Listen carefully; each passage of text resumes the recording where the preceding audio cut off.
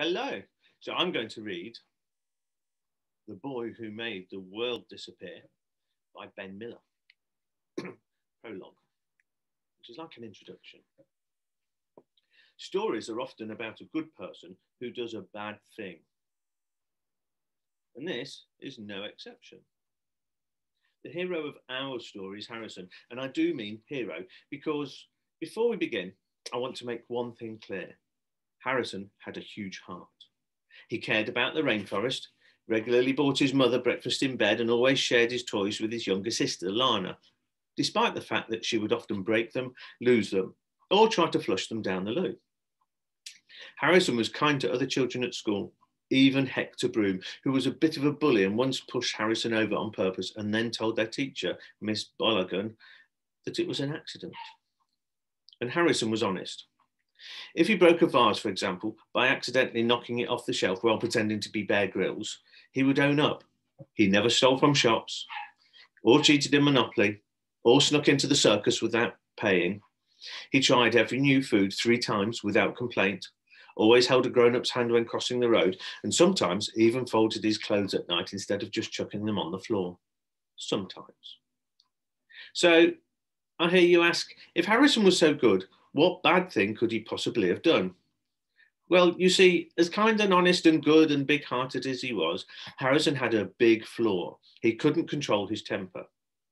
Most of the time, he was very well behaved, but once in a while, something would really annoy him. And then, well, then he would kick off.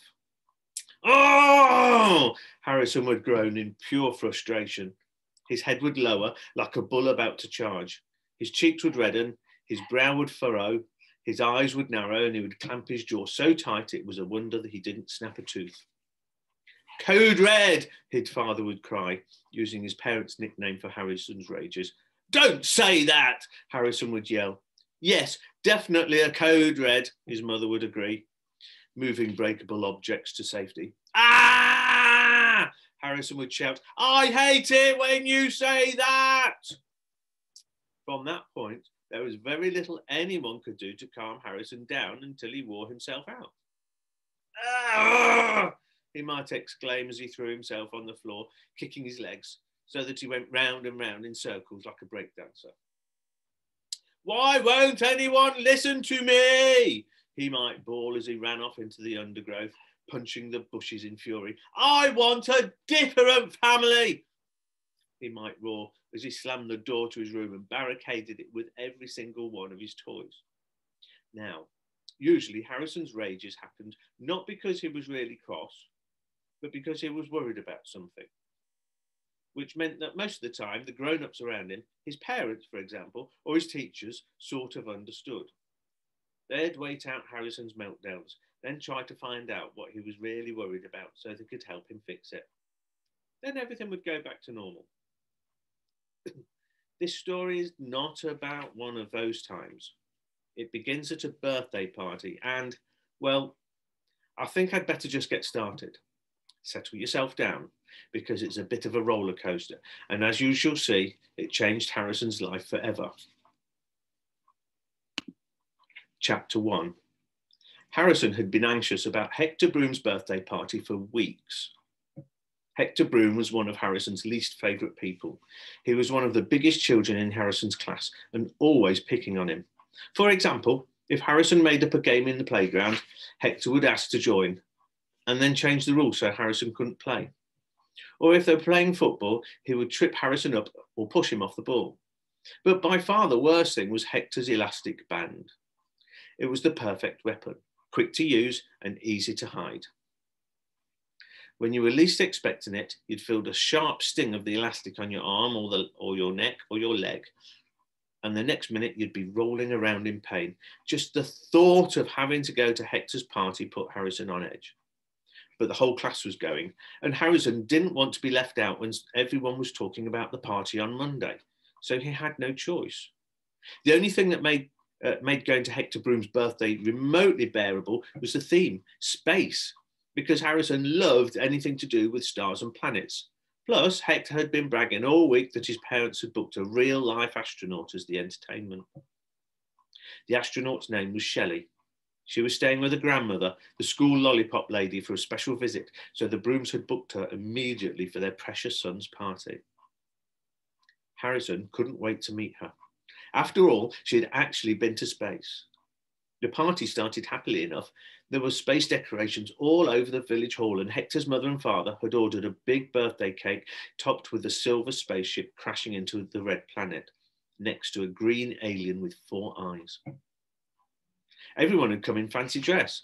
Harrison was a spaceman. Persephone Brinkwater was an alien. Charlie had come as a shooting star. Marcus Down as a rocket, and Charles was a, a sorry, and Carl was a man from Mission Control. Katie Broad was an angel, but no one said anything, even though angels aren't the sort of thing you see in space. Hector Broom had, predictably, chosen to dress as the sun because he wanted to come as the most important thing in the solar system. Once the guests had arrived, Hector's parents ushered all the children to the centre of the room, and soon everyone was sitting on cushions on the floor, waiting impatiently for the main event. Harrison could, see, could feel his excitement growing at the mo- as the moment he would meet a real life astronaut grew closer. Then a menacing voice whispered in his ear Just wait until my parents are gone. I'm going to get you. Harrison turned to see Hector Broom flexing his dreaded elastic band, an evil glint in his eye. And when we start the games, you'd better watch out. Harrison gulped. Perhaps he should have stayed at home after all. The lights dimmed and a voice called out, Lift off in T minus 10, 9, 8. All the children began to join in. Seven, six, five. Hector's mother and father backed off towards the door. Harrison felt all his muscles go, go tense. Once they'd gone, who was going to protect him from Hector? Four, three, two, one, ignition, blast off! yelled a woman bursting out of the kitchen door. she had bright pink hair and was wearing the most brilliant outfit, just like the ones the astronauts wear, astronauts wear on the International Space Station. Despite his nerves, Harrison was really impressed. Hello, children. I'm Shelley. We're going to have so much fun together. Now, who wants to go up to into space with me? She asked, looking round. Me, me, me! Everyone shouted. Hector's parents smiled at one another and closed the door. Soon as they'd gone, Hector flashed Harrison an evil grin. Not me, blurted Harrison.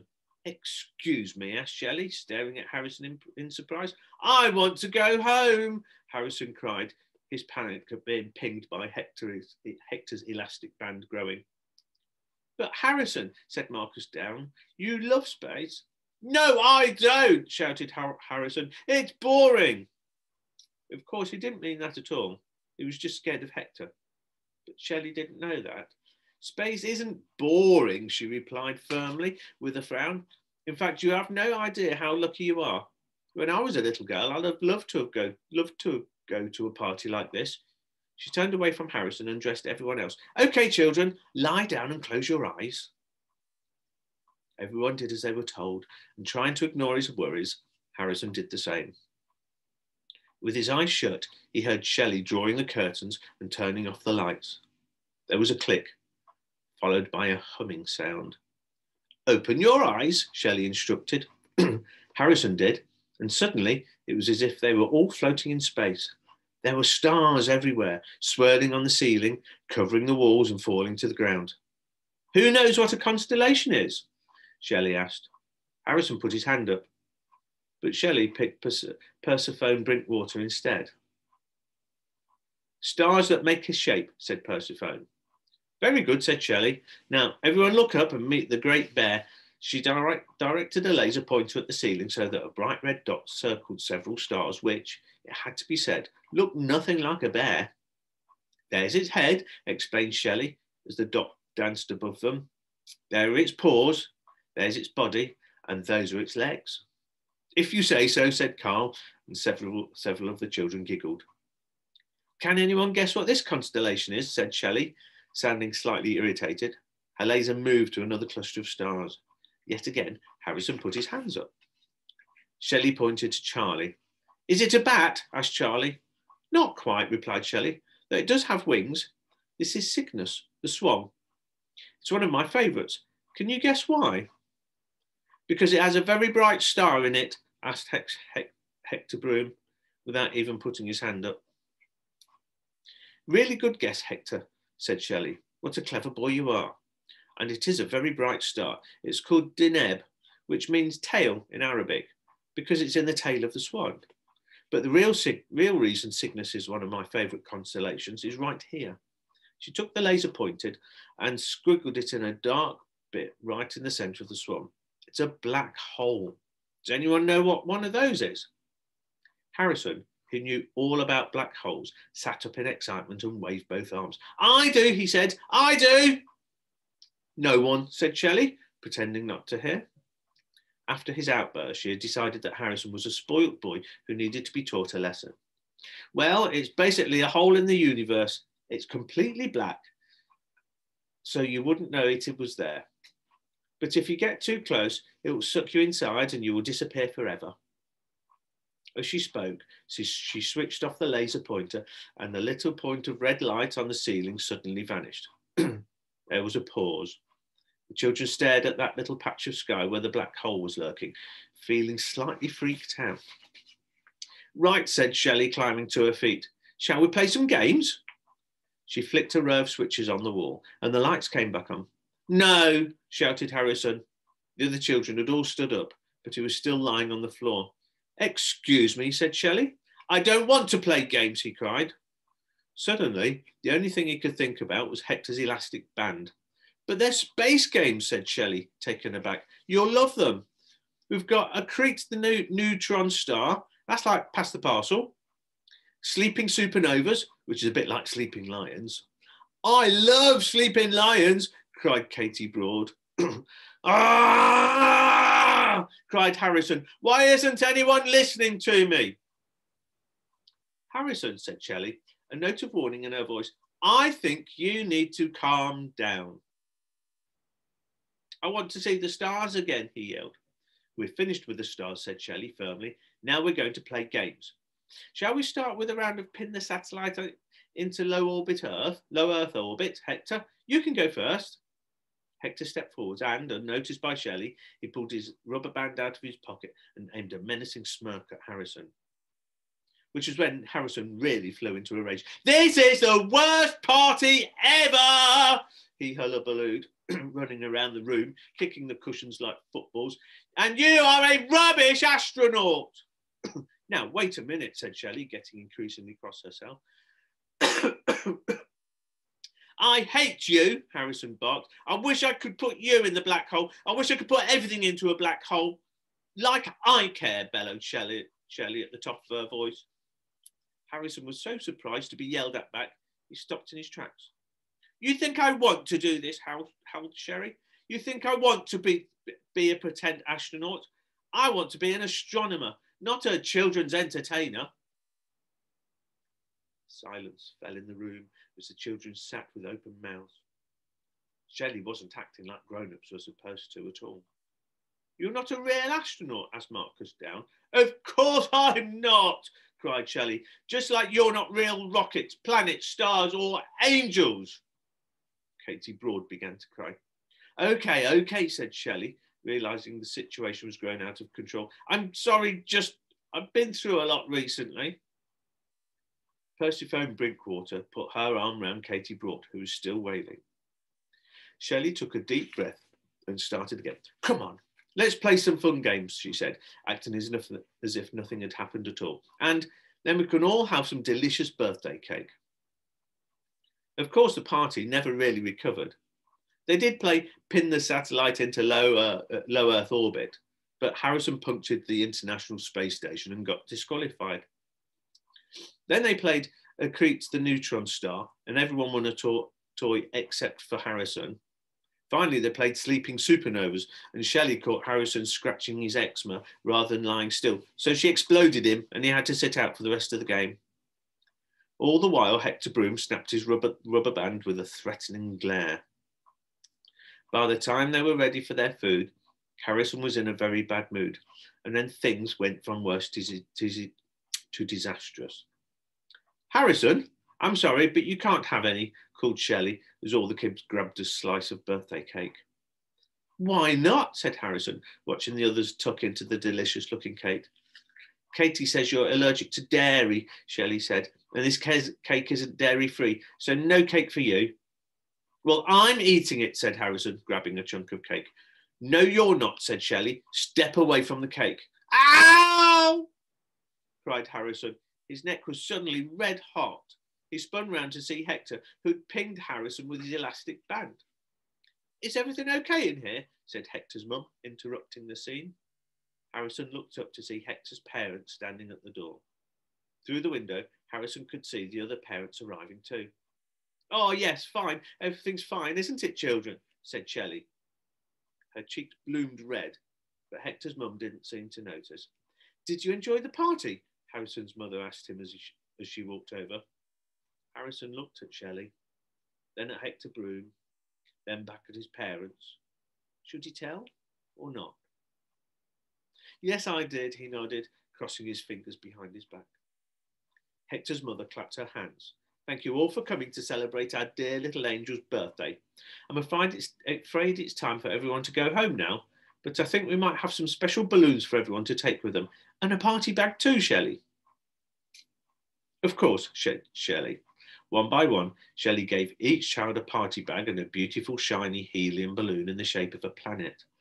There was a stripy brown and yellow Jupiter for Hector Broom and a purple Venus for Persephone Brinkwater. Charlie got a sky blue Neptune, Marcus Down an orange Saturn with pink rings, and Carl a bluey green Uranus. Katie Broad got a silvery Mercury, which was very lucky because it matched her angel costume. Finally, it was Harrison's turn. Have you got a balloon for Harrison? His mother asked Shelley.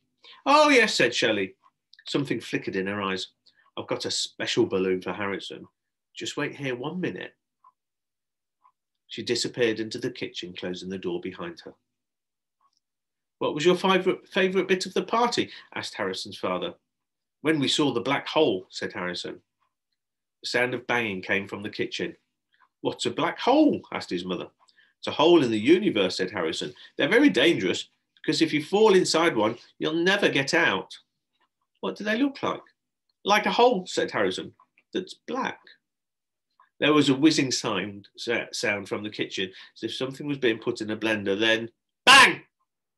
The kitchen door blew clean off its hinges, sailed across the hall, slammed against the opposite wall, and clattered onto the floor.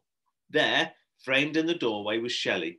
Her spacesuit was covered in soot, and all her pink hair was on end. In her right hand was a piece of string, and floating at the end of it was a weird black circle. Um, are you okay? asked Harrison's father. Here's your balloon, Harrison, said Shelley, trying to give, tying the string to his wrist. It's very kind of you, said Harrison's mother. My pleasure, said, my pleasure, said Shelley. He deserves it. Harrison reached out his hand, took hold of the string, and pulled the balloon towards him. It was pitch black, like a piece had been cut out of the universe. He blew at it to see if it bobbed backwards like a balloon should, but instead it loomed ever so slightly closer. I wouldn't do that if I were you, Shelley warned. In fact, best not to touch it. Harris's father gave her a quizzical look. In case it pops, said Shelley, smiling a big, innocent smile. Well, what do you say, Harrison? asked his mother. Thank you, said Harrison politely. You're most welcome, Harrison, said Shelley with a glint in her eye. You are most welcome indeed. Chapter 2 as Harrison walked home with his parents, he stood his extraordinary balloon. In fact, he couldn't take his eyes off it. He was vaguely aware of crossing the village green and climbing the hill to their cottage, but it was as if all happening. It was if it was all happening to someone else. The balloon was like a huge dark magnet pulling him in. He stared deeper and deeper into its depths, looking for a place to rest his eyes, a shape maybe moving in the black or a tiny chink of light, light. But there was nothing. Harrison was starting to wonder if it even was a balloon or something altogether more mysterious. Ruff! A large bark startled Harrison from his thoughts as he set a sharp thought, as he thought. A large bark startled Harrison from his thoughts as a set of sharp white fangs snapped shut about a centimetre from the end of his nose. He leapt in fright, letting go of the string. Luckily, the balloon was tied to his wrist, otherwise it would have floated away, and, well, this would pretty much be the end of the story. Harrison knew that terrifying bark and those razor sharp teeth all too well. They belonged to Blue, his neighbour, Mr. Hardwick's black and white border collie. His heart began to race and he started to feel faint. Help, he cried. Just turn your back, Harrison, said Mr. Hardwick, leaning over the fence. Blue won't hurt you. Stand still, and he'll soon lose interest. Harrison did as Mr. Hardwick suggested and turned away from the dog. Then he felt Blue's hot breath on his neck and as she snapped her teeth just millimetres from his right earlobe. He turned back around and tried to shoo the dog away. Don't wave your arms, said his mother calmly. She thinks you want to play. Harrison held his arms close to his chest. He could feel his heart thumping against his ribs like a crazed hamster trying to break out of a cage. Blue darted in front of him and kept jumping up, barking and snapping her teeth in his face. It was unbearable. Oh! yelled Harrison. Oh, don't be silly, Harrison, said his father. Blue's just being friendly. The next few seconds felt like hours as his parents continued their conversation with Mr. Hardwick. Harrison twisted and turned, doing everything he could to avoid Blue's yapping and snapping. But the dog wasn't giving up. This was much too fun a game. She crouched low on the pavement, prepared to leap, sprang from the ground. Harrison shut his eyes tight and ducked. For the longest time, he stayed in that position with his eyes closed, expecting to be torn apart at any moment. But nothing happened. He opened his eyes. They left our recycling box behind, Harrison's mother was saying, because we put our soggy tissue in it. I thought paper was recyclable. Harrison looked up and down the lane. Blue was nowhere to be seen. That's the council for you, Mr. Hardwick replied. They love to make things difficult. Where had that dog gone? Harrison couldn't make any sense of it. And then he remembered he was still holding his balloon. His very strange balloon. Couldn't have anything to do with a dog disappearing, could it? He crouched down, just like when he had when Blue had sprung at him, and looked up. As he suspected, the balloon was hovering directly above him. So when Blue had leapt for him, he could easily have hit it. What if she'd crashed into the blackness and vanished? Harrison shook his head. Nah, that was ridiculous. Blue must have jumped right over him and run off down the street while he had his eyes shut.